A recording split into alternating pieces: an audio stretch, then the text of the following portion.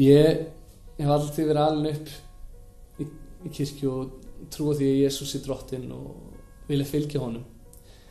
Og, og ég trúa því að Guð sem er vilja fyrir mitt líf á, á, á allt trúa því.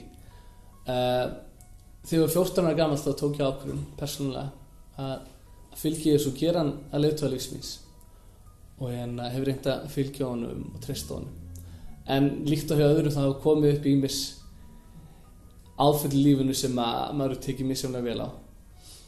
Og það sem að og það sem kannski ég myndi segja að líf mitt hefur verið til til að vennilegt en þegar fór líða árið þá fór ég uppgöt að ég að ég uh, dílaði við meðvirkni.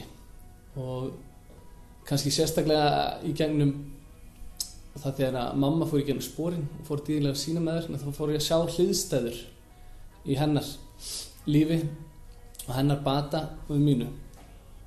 Og lengi vel hefur ég verið að pæli að taka spórin og en verið hrættu við það bara að feysa sjálf sig. En það gerist fyrir þrjum árum og ég og frú mín fluttum á Selfoss í kirkjuna sem er þar sem er mjög innblásin af spórakerfi og spóravinnu og við fengið að sjá hvað það hefur áhrif á líf einstaklingi kringum okkur. Eftir uh, samtali við, við okkar, vinahjón okkar þá ákveða að taka þeirri kvartningu þeirra að prófa að taka spórin og ákveðum að gera það saman. Uh, kannski ekki skynnsalegsta en samt mjög gott að gera það saman tíma. Og til þá fengum við að, að deila sigurum og ósigurum saman. Um, það sem ég fannst merkilegast að kannski í spóravinnum var kannski ekki kerfið sjálft heldur ferli sem maður fer í gegnum.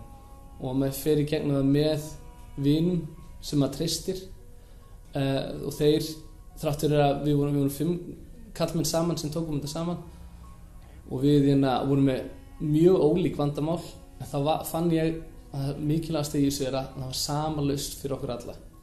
Að það var ekki þráttur að við vorum ólíkir að þá skipti það mestu máli að lefa Jésúfinn í gegnum sig og vera heiðalög við sjálfum sig og heiðalög við aðra og skoð, grannskoða líf sitt og leifa, leifa þessu ljósi Guðs að skína í hvern kema ekki það ég sé hann fullkomi núna en þá hef ég fengið þessi verkfæri hendunar ég fengið verkfæri hendunar að þegar að tilfinningar eða áhyggjur af álita annara komu upp að þá geti tekið það fyrir grannskoðu huganum og séð hvort það byggist þar réttum rökum. Og það hefur verið batið minn er að átta mig betur og þekka sjálfum mig betur. Það er nóg eftir en ég hef fengið rétt að verkfærið hendunar